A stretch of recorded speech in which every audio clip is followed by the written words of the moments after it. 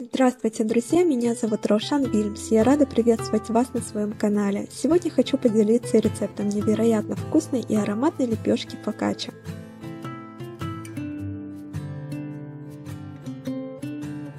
Итак, понадобится 450 граммов муки, 4 столовые ложки оливкового масла, 1 чайная ложка соли, 1 чайная ложка сахара, 7 граммов сухих дрожжей, 280 мл теплой воды от 35 до 40 градусов. Воду смешиваю с сахаром и дрожжами.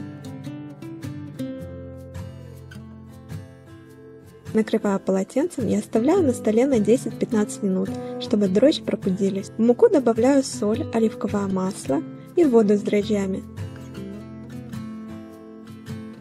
Замешиваю тесто.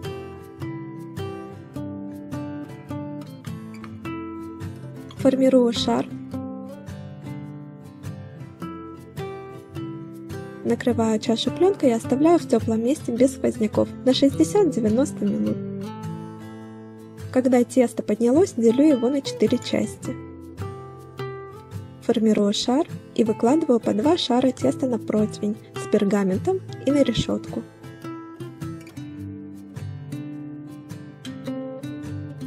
Раскатываю лепешки по 1 см толщиной. Накрываю полотенцем и оставляю на 20 минут подняться.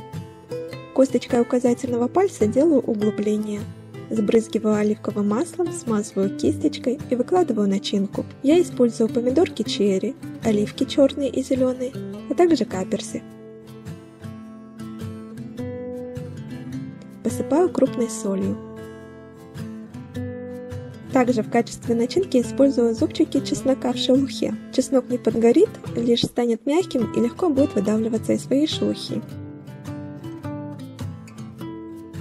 Выпекаю в заранее разогретой духовке до 220 градусов 20-25 минут. В процессе выпечки я меняю противень и решетку местами для равномерной поджаренной корочки. Еще горячую фокаччу смазываю оливковым маслом, остужаю на решетке. Фокачча всегда есть в моей морозильной камере.